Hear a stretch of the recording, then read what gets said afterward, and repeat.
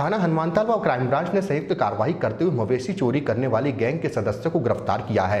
जानकारी के अनुसार बताया गया कि 15 तारीख को मवेशी चोरी होने की शिकायत दी गई थी, जिस पर मामला दर्ज करते हुए वीडियो फुटेज के आधार पर संदिग्ध को हिरासत में लेते हुए कड़ाई से पूछताछ करने के बाद उसने अपना जुल्म स्वीकार किया, जिसके बाद चार आरोपियों को और गिरफ़्तार किया गया है। तो वहीं शेष आरोपियों की तलाश जारी है।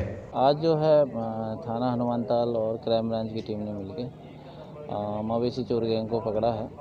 पंद्रह तारीख को हमारे यहाँ रिपोर्ट हुई थी कि उनके मवेशी जो घर के पास से चोरी हो गए थे जिस पर हमने एफआईआर करते हुए मामले की विवेचना किया वीडियो फुटेज के आधार पर कुछ संदिग्धों को पकड़ा, पूछताछ की, जिसमें उन्होंने जुर्म स्वीकार किया और उन्होंने एक प्लान बना के मवेशी चोरी किए।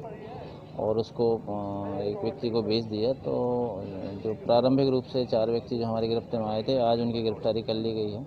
तीन व्यक्ति उसमें और नाम आए हैं, जिनको शीघ्र ही गिरफ़्तार कर लिया जाएगा। वो बेसिकली यही हनुमान ताल क्षेत्र के मदार छल्ला और बड़ी मदार टेकरी के हैं। और जो नाम आए हैं, वो भी आसपास के ही लोग हैं और शीघ्र ही उनकी गिरफ्तारी कर ली जाएगी।